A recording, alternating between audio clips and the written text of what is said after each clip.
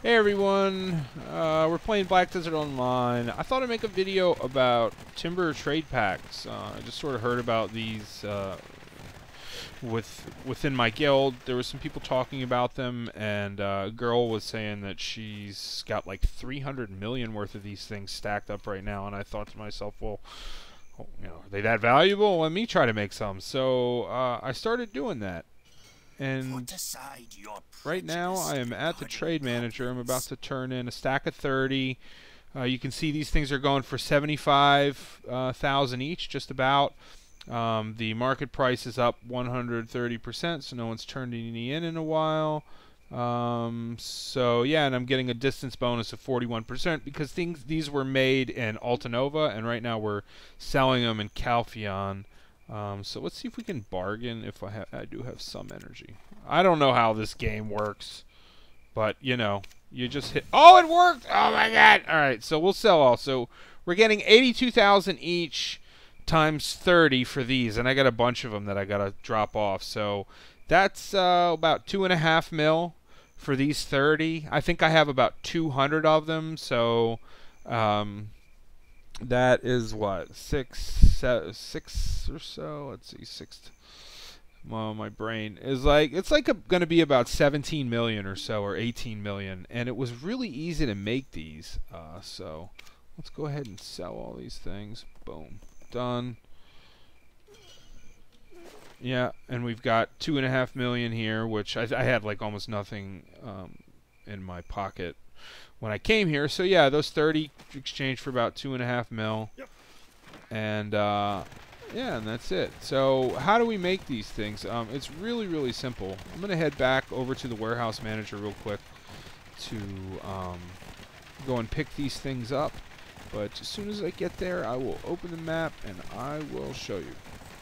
So these are Mediah crates. There's uh, Calpheon crates, and then um, Serendia crates, or Balenos crates, that's what it is. So how it works, let me turn the volume here. Um, so each region, the Calpheon region, the, all the Heidel, Velia area, and then the region near Altanova. Um, these are th separate regions. They have separate separate kinds of wood.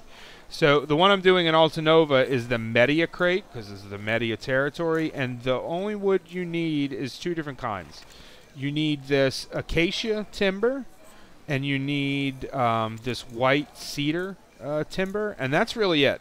And this is a really great node to get anyway. I think it's a my favorite node because it produces. I think it's trace of forest. I, I don't remember exactly remember, but it's a byproduct that is hard to get, and uh, it's worth a lot. So I like this node anyway. So you want to get the Mediah Northern Highlands. You want to get the white cedar timber. And then this note here, Stonetail Wasteland, you want to get the acacia timber. Now, you can't initially see this acacia timber when you when you unlock the node.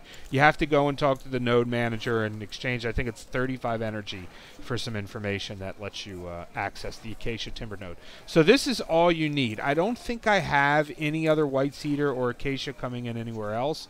I think that's the only two there are. Um, so Got this little chain. You're probably going to have a chain going up to Sawsons anyway. So from Sawsons, it's one node over for the white cedar, and it's one node down and to the left. So you don't even really have to unlock anything extra. Like uh, probably 90 plus percent of you are going to have this chain unlocked anyway. So once you get these two uh, nodes going, you get workers on them. Um, again, th this this one is I think it was one contribution, and then the uh, the resource was one, and I think this one might have been a little more, like maybe two contribution. I'm not sure, and then each one of these was one. Um, so it's not that big of an investment. So you get your guys harvesting timber, uh, harvesting the timber. Once it stacks up, uh, you hit your L key. Well, I can't do that while I'm on my wagon here. You hit the L key, and then you go to the chop menu, and you load your wood into it and hit start.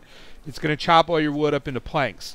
Once you're done chopping up all your planks, uh, throw the planks in here and hit start, and it's going to chop them up all into um, blah, blah, blah, plywood.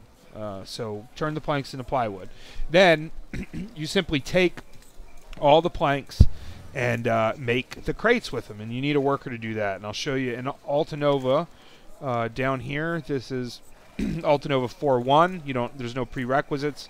I think it was uh, let's see if we could tell. Um, I think it was one contribution. Um, so you unlock that, and then you send a worker there, and you assign him to build the uh, let's see, Mediah timber crate right here. So you can see you need one white cedar, cedar plywood, one acacia plywood, one blackstone powder. Now blackstone powder, for you guys that don't know, I mean you can just buy it off the market, or you can go and get the uh, the the gemstones that go in your gear. Find cheap ones and process them yourself, and you'll get black stone powder, and it's cheaper than buying it off the market. Uh, so, uh, and that's all you need. You stack that stuff in your warehouse. You send a worker to do his, you know, 50,000 jobs and hit start, and he'll go over there and crank them out. Now, the nice thing about this is uh, you can go AFK. Uh, the, the, only hands-on part is chopping the timber, which is a pain in the butt. It takes a long time. Um, there, there's a costume that allows. I don't know. I don't have it. I want to get it though. There's a costume that allows you to um, process things directly out of your warehouse. So you put all your wood in your warehouse, you start processing it, and he'll load the the uh, planks into your bag, and that will leave you. You know, that'll allow you to run quite a bit longer, I think. Um, but anyway, uh, that's the only hands-on part, and it's really you can go AFK, right? You can set your guy to chop the wood and go do whatever and come back. So that's the only hands-on part. Once you've got all the um, the the planks piled up, or not the planks, but the plywood, then it's just a matter of your worker making them. So let them stack up. I got 19 here right now. Um, I let them stack up to about 100, and then I go ahead and use the transport system. Now, um, when I'm, I'm sending them um, from Altanova, you have to send them uh, to Tarif first, and then once they get to Tarif, I bounce them all the way over to Calpheon. Now, I do have this whole chain going between Altanova and Calpheon unlocked, so I am able to uh, transport things at a reduced rate. You'll probably want that uh, chain unlocked so you can have a reduced rate. Uh, it does get quite expensive transferring hundreds of crates several times a day.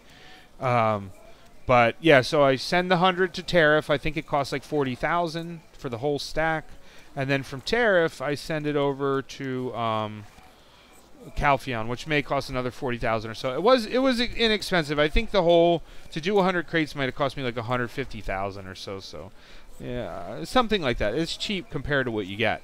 So then once they get to um, Calpheon, you simply come here, hit transport, and receive all and then boom, all these crates go into your, your warehouse. And then once you get them there, all you got to do is take them from the warehouse to the trade manager, which is just this little quick trip, and drop them off. Now, if this trade manager has, um, you saw that we were getting 130% bonus.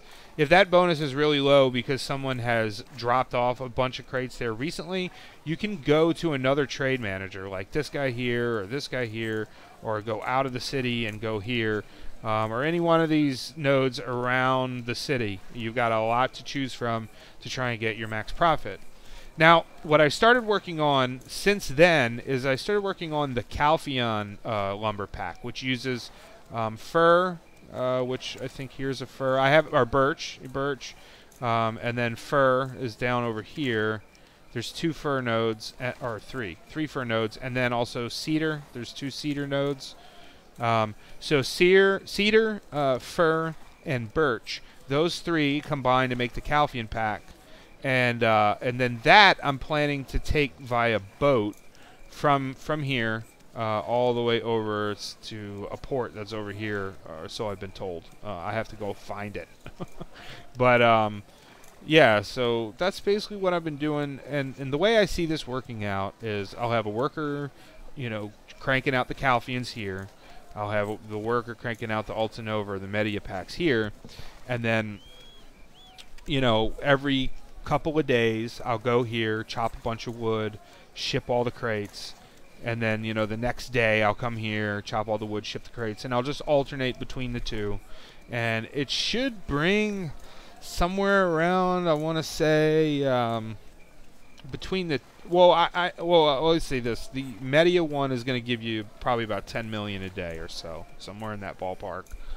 Um, the Calpheon one is probably going to be much more lucrative because of the longer distance. I haven't done it yet, so I can't exactly say, but I will update you guys once I do get that running um, and let you know how that's working out.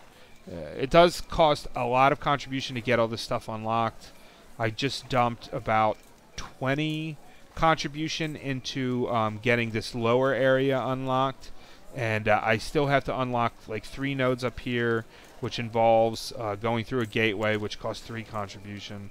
Um, also going through this farm, which is one, and then unlocking the nodes themselves. So that's all going to cost maybe around 12 to 15, I think, contribution to get all these, um, because I've I've got some of the things near them unlocked already. Um, so I guess you're looking at a total of about 35 contribution, maybe 40, depending on what you've already got unlocked, um, to get all the nodes. And then you're going to need, um, obviously, worker space in Calpheon, which is going to be another, you know, maybe 10 contribution. Then you're going to need also the um, the workbench for creating the, the packs or the crates. And uh, that's probably going to cost one contribution. So all in all, I think you're looking at about 50 contribution to get everything done and uh, get these packs rolling. And I, like I said, I'll let you know how profitable they are, but I know they're much more expensive than the than the crates I'm building now, the Mediah crates, and uh, so it should be um, much more lucrative. I think 10 mil a day for the Mediah one. I'm figuring probably closer to 20 mil a day for the and that's 30 mil a day, mostly passive income. Um, so I'll let you guys know how it works out. I hope everybody's doing well. Talk to you later.